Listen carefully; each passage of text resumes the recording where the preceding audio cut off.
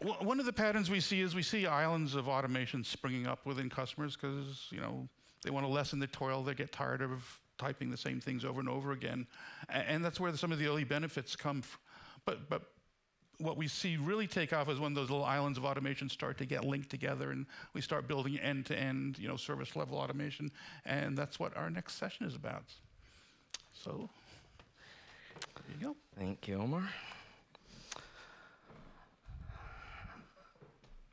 My name is James Henderson. I am a automation solutions architect with Data Ductus. And we have some experience working in tier one service providers. So I basically want to share some of the stuff we've figured out in doing this. And so let's get with it. Um, we have silos. So in you know every company, you have to have some silos which are going to help you to organize. Because a very large company, you cannot just have one organization delivering everything. Right here, we have sort of vertical silos. So say like technologies that you're delivering, such IP, uh, so like your maybe IP core, your uh, data center, um, optical transport, mobile private network. So these are each, you know, they each have their own technology stacks, all their uh, complicated things that have to be done, operational requirements as well. But then you have to add on to that uh, geographic silos, right? So if you have a, if uh, you know the, if you're each one of these vertical silos will have its own geographic component, right? So you could have you know six different data centers in six different part of the country. Each one of those will have its own organization. If they are each doing their automation differently, you're going to run into challenges. Um, and then we get into our net DevOps. So we've talked a bit about how in net DevOps we have different silos there. We have, you know, network engineering, we have our uh, development, and we have the operations. And those are each all independently hard, difficult things, and they have their own groups doing them, right? And they have to work together. And then finally, for every single one of the things that I've mentioned, you have both uh, business side and you have like an operations or a delivery side. So that sort of adds an extra level of complexity. I think most of us have run into situations where we know what we need to do, you know, to make the company function as effectively as possible, but uh, we're not quite, you know, we're not authorized to do that because it hasn't been paid for properly or something like that, right? Um, and yeah, we've all run into that. So when you add all this together, things uh, things get a little bit complicated because you, you know you have these silos and silos and silos distributed across and it it and the amount of confusion and the amount of uh, number number of different people and resources you're trying to commu- uh, coordinate is very very high. So how do we get these silos working together? Well, we need some sort of infrastructure. Here is how we can get a whole bunch of people in London able to get where they want to go, and without, uh, you know, without having just a giant traffic jam. So, but let's take a look at different types of networks. So first we have this network right here. And this one is not too scary. It's a you know, small corporate network, and we don't really need all that many network administrators or anything. This here kind of represents the resources that we might be trying to control with this network. And each one of those dots is a resource, and the lines represent the possible conflicts, right? So even if you have two administrators, you got to make sure not both trying to make changes on the same device at the same time, potentially, or trying to configure the same port, or anything like that. And so, like, but you know, this is a manageable amount of thing. You can make sure you check each one of those lines when you make a change to one of those dots, and you're okay, right? So you don't really need to have complicated solutions in this case. You can get by with these, as Jan was saying, Jan, Jan had a presentation, he was talking about these five levels of automation, and level one to two, that's in your scripting and all that kind of stuff, right? And you can get away with that when you don't have very much stuff, very many, very complicated network. However, as your network starts to grow, your need for more complicated solutions starts to go up. So here, all we've done is we just doubled the number of dots, but then suddenly you see some extra lines appearing, right? It's still not too bad, but now you have to coordinate things between multiple silos in the company. You have changes that you're trying to do, which kind of have implications or possible connections with other things. So we need to have something a little bigger, right? Um, here's where we get into like change control, some sort of structured automation platforms. But you could still, and we've like I've seen it lots where the company really is still running on one to two level, right? On the you're not you're not into services yet, but you're trying to trying to deal with things by having rules. Now the challenge here is a little bit like these uh, these roads. Each car may have actually fair, more simplified rules as to what it's supposed to follow, but they can still make mistakes. You can still hit another car and then cause a traffic accident or something, and then affect all kinds of other changes and cause all kinds of problems. So, next thing is a huge network. So, we've only doubled our number of dots here in this diagram, but suddenly it's really getting complicated. And the thing is, as this number of dots is going up linearly, the number of connections is going up exponentially which means that the solutions that we have they can't be ones which just uh, kind of linearly automate like a, a, manual solution. So if you have a manual process and you create a you automate it then you have an automated manual right? But the complexity is still there. You're not actually figuring out any of these resource challenges. You still have to coordinate. You still have to run you, you don't have any automation of any of any of those things. So what do we need to get into um, well, let's think about our small stuff. Obviously, the stuff like the scripting, that's right out. But even these change control stuff, you run into capacity problems. You can't make the changes as quickly as you want. If you want to do like the sustainability stuff that we're talking about, how are you going to implement that when you need to be making constant changes, adjusting, bringing links up and down in order to minimize the power usage? How are you going to, it's, it's going to be impossible to do that when you have to have some engineer responsible for that each time. So that's where we get into huge solutions, right? Service based orchestration, automated resource management, getting APIs for everything, making the, the, the, changes so they're zero touch, right? Um, so here's our, our dots again, same number of dots, but this time we have the circles, and circles represent service. So the thing that um, and I think a lot of us are aware of this, at least, like we've used them. We know that services are good, but what I find really, for me, makes them fundamentally different is the fact that you can draw a circle around and you make many resources appear as one. The service takes control and handles that. It will automatically figure out, you know, what, you know, you need to create a loopback for this. It creates it, it's already there. It knows it's already there. You delete all the services that use that, it deletes the loopback. It can handle those things. And it can handle things on a, on a low level in the service, or, and then it can also handle the coordination, either with service or workflow for things like more global resources, IPAM, and a lot, all that kind of stuff. So, how do we do this? Well, if you go to like, you know, any major city in the world, you're going to find um, some sort of a transit system, hopefully. LA notwithstanding. Um, but the, the, the ones what you, where you can get around, where you're not always stuck in traffic, they all have good transit, right? And that transit didn't appear by accident. It didn't happen because each borough decided that they would do their own transit, or each, um, each, each area of the city. Um, so you have a transit authority. Okay, so how, what does that look like in our networks? Well, I think a cross organization program for automation is what's necessary. And that the idea is this this is going to take these silos that we have and act as a bridge between them. The idea is not to break the silos. They exist for a reason. You don't just have, you know, a 100,000 person organization that all exists as one giant organi- one, one giant group that somehow functions without any separation whatsoever. But you still need to have something to pull it all together, to allow everyone to work together and, and coordinate these resources. Now, if we wait for the bridge to build itself, we're probably going to be waiting for a long time. So, what are we going to do? Um, in order to do this effectively, you need to first of all have executive sponsorship.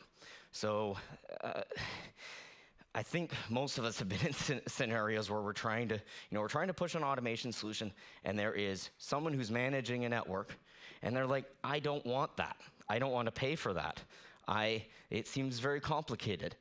And, and, and so the challenge is you need to have, you need to have some push from above in order to, to, to implement such a plan, right? Then, of course, you're going to actually need resources to implement. So you need to have program management, somebody to look at all these different stakeholders, talk to each of these styles, find out what their needs are, not just push something down from above, right? But figure out what is a solution that's actually going to work.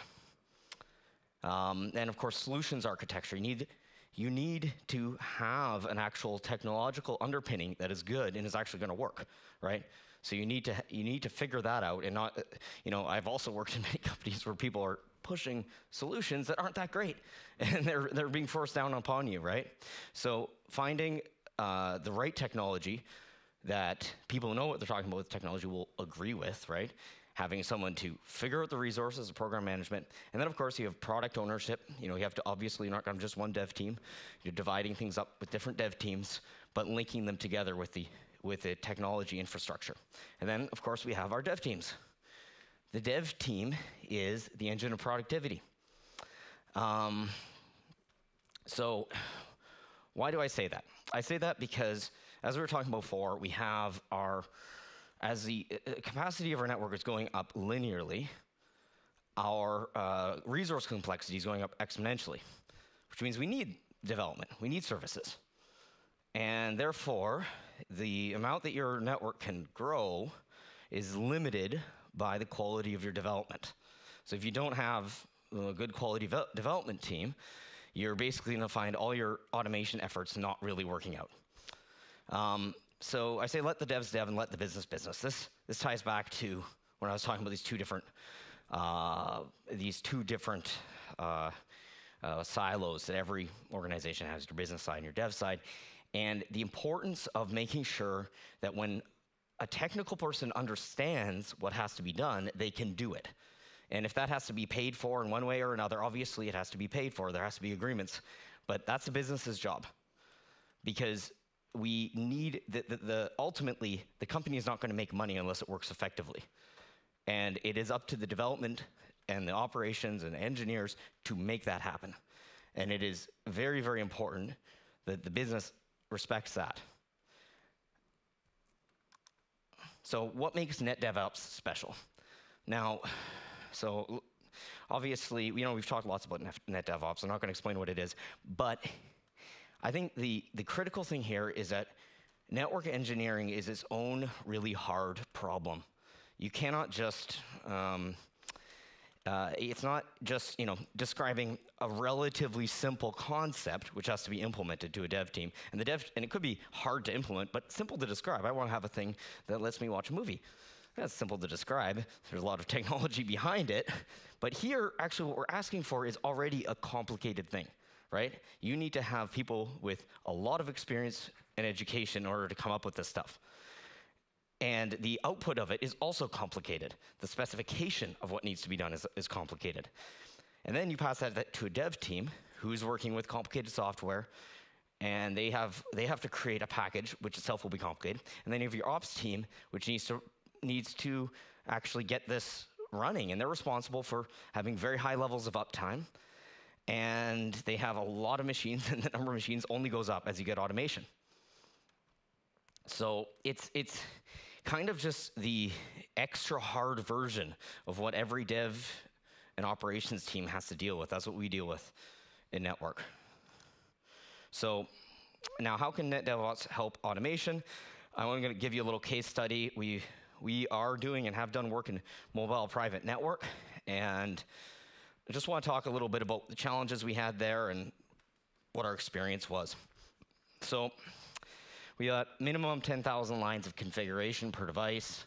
We have a lot of change requests and northbound systems integration, and of course, extremely high reliability is required. We established three teams which all worked together with a high degree of respect for each team.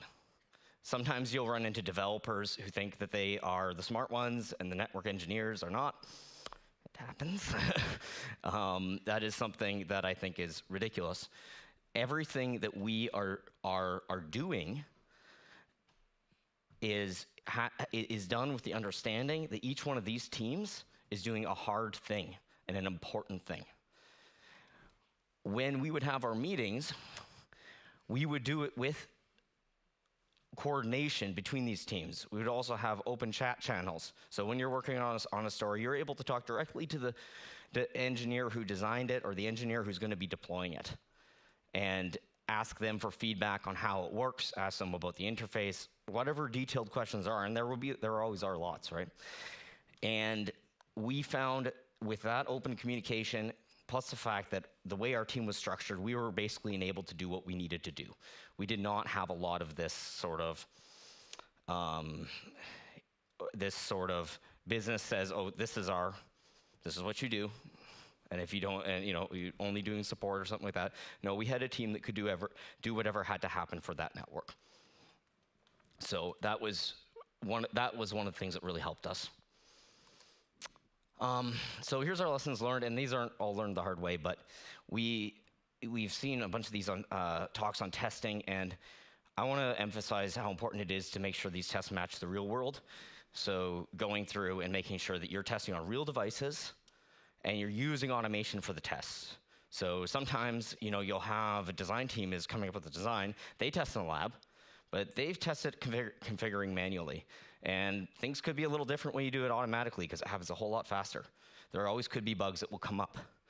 Um, another thing is traffic. Some devices will not behave the same under traffic as when they don't have traffic.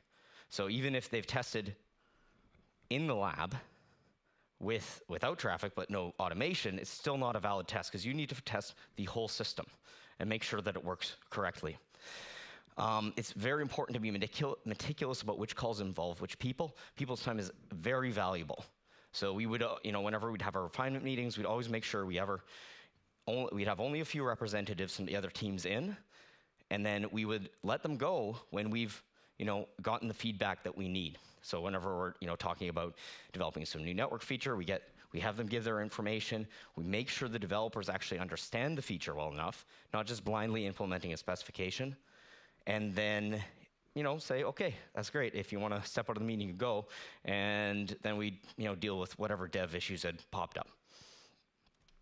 Um, and then unified report to demonstrate how this net dev and ops teams are in sync. So this is just to say that uh, essentially if you have three teams, they're all supposed to be kind of working as one, delivering one objective, which is the, the, the network functionality, the ability to make your changes immediately, all this stuff you need to make sure that that is actually being tracked and that is one of the objectives of each one of these mini silos, right? Because if it isn't, they're going to appeal to whatever their more specific objectives are. And it'll be just like, well, I'm the team. My job is to make sure that whatever specs that the design team gives me, I implement. And then I'm done. I don't care if it works or not, or whether or not the operations enjoys it. And that doesn't really work, right? Accomplishments. Um, we really uh, did a lot in this. In this, we uh, were able to have a time to market improvement. Our many uh, we were able to make change, allow enable the customer to make changes immediately, pretty much as fast as they could test them and get them into NSO. They could make these changes, and that that uh, that would allow them to like when they for small changes if it was some and then they could pass that back to our dev team um, using git so they create a pull request, pass that back to the dev team. We were trying to enable them to make do as much as possible, but uh, there was not everything that they'd be comfortable with, right? Um, then we have a big scalability improvements. Uh, the scalability, uh, we were able to increase the size of the network, and we never had to add any more headcount to any of the teams. So that that was pretty good there. And then we have uh, security and reliability, every single thing. We did, uh, we had ability to pull in all the existing customers onto the, from the gateways and standardize them. So that was really important. Finally, here's a bit of a customer feedback. Um, I, the, we're, we're really excited to hear about the 1.4 million transactions, and we are definitely working on the rest of that iceberg. All right, so that is the presentation. Um, I'm going to open up, see if there's anything on Slido for me. Thanks, James. Um, I don't see anything on Slido, but my mic runners are back. So if someone has questions, put your hand up, and we will run something. uh, We'll run something out. Um, otherwise, I do have a couple of questions. Uh, just going back to your point about scalability and the ability to impa- in- increase span of control without having to add people to the Right. to the network, uh, because of what was kind of the, the just efficiency with the automation and the tooling. Yeah, well, it, it- you know, we could, uh, when we, you know, we develop our features, we'd pass them a new version of the package. They would, they would install that, and you know, just could just redeploy each of the gateways and get whatever changes were there. And they need to add a new gateway. We had all the, everything was automated. So you create a gateway. Once it's created, you just call the package on that. That would configure everything you need, and it's up and running, right? You so adding new gateways in was relatively easy for such a complicated configuration. Adding new customers, migrating them from gateway to gateway, all this sort of stuff was standardized. We also had workflow engines for doing uh, for doing uh, like migrations, that sort of stuff.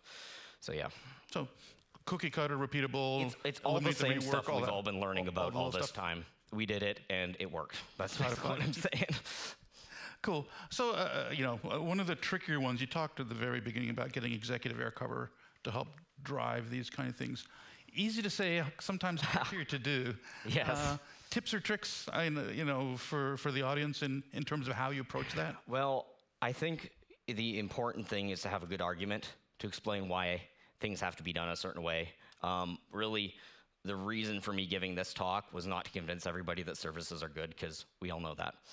But it is to maybe provide some tools and arguments for saying why this stuff is necessary and why it is essential to have this this bridge between your silos, basically. I assume some part of that is, is being able to contextualize the argument within KPIs that your executives care about. Like you use example of, of being able to measure transaction volume Mm-hmm. and you know driving up volume keeping costs flat or, or something like that. Right, that. yep. Kind of understanding what the customer cares about and what they're measured on. And, and trying to, you talk about building bridges, maybe build a bridge between this activity and the outcome. Yeah, you, you, you can prove that just that the the uh, that if they want to continue to increase their capacity, which they always do, Yeah. um, they will have to do these things eventually. And the question is when. And usually the best answer is yesterday. You know, but that that's just the argument that you have to make to sh- and and show how it's not going to be possible to um, achieve what they want to do if they're waiting for each one of the silos to do it independently. Because I mean, they you could have the best engineers in the world in one silo, but if they're not coordinating with the others and don't have some sort of technology infrastructure to pull it all together, then Sure. you, you're you're never going to get there. And that's one of the things that jumped out at me from your from your talk. It wasn't just technical goodness, but maybe one of the keys to success was that communication. You talked, you, know, you mentioned a lot about uh, being respectful with communications and just having open channels and and you know vehicles for casual interaction as well as the more formal stuff. Yeah. And that seemed almost as important as the, the, the technical solutions and, and the templates and the cookie cutter piece of this.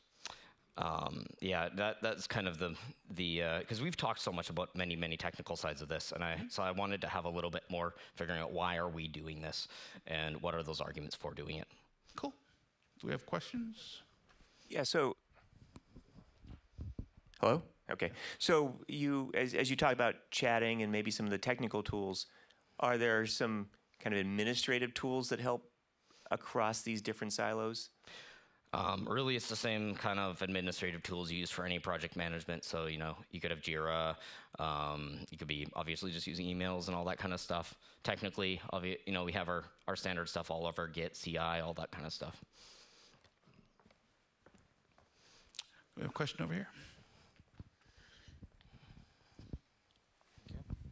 Hi. Uh, since you mentioned uh, that you have uh, small companies, small problems, big companies, big problems, um, I have a feeling that you have a need uh, to standardize in between all those demands, solutions, so you can use your products more uh, efficiently. Uh, you know, so, do you think about that? Implement uh, plan to do that. Abs- absolutely. That's really what the whole idea with the architecture is, is that you're trying to fi- figure out the tools. You don't want to s- solve the same problem multiple times in different ways. You know, uh, ZTP might be an example there where uh, lift, you know, how it in practice works is you get different silos will solve that problem differently, but really it's the same problem. You just need to have one tool that can do it and make sure that's accessible and have, you know, people to help integrate that into every part of the company. Uh, basically, my main main question follows. Okay, that was a pre, Is- pre-question. Uh, well, because um, uh, how hard? Uh, I mean, you find the solution, right? You standardize it. You you maybe ha- ha- have a variation of it uh, for the different customers. But how hard is for you to to to put through to the customer that uh, your idea is really the best for them, and that you don't need to tweak it, modify it, or s- so that you stay in your standard. I think, Thank you. like, I mean, I'm not going to say that there's one perfect technology to solve any particular problem necessarily, but you can, if if you know, if we have something that we're uh, uh, we we've suggested, we're going to make arguments for why it's effective for them, and. Uh, but it's the, the the thing about the de- uh, development process is that you should always be open to change, and you need to. Your argument can only be as good as your current information, right? So obviously, I'm gonna find something that is like uh, effective and can. It seems like it solves all the existing problems. You know, you talk about the problems, you figure, okay, what has to happen, give all of that, and then and then show why it will work, and then you you know get implementing and customizing whatever has to happen. If I can, if I can jump in on, on that a little bit, you know, as we've worked with James and Data Ductus on some on some joint customers. I, I think the one thing that may be missing is is there's a level of trust that that grows over time. So uh, I've seen you know James on certain accounts, the customer trusts him implicitly at some point. So it doesn't. There is not a, s- a continual convincing at some point as much as uh, you know uh, you know, James proven I'm a smart guy. I know what I'm doing. I've given you good results. So at some point it says, it becomes more of, okay, what do I do next? And it becomes much more of a, you know, guidance as opposed to, you know, constantly having to, you know, make the case to why to do something. Thanks, Omar.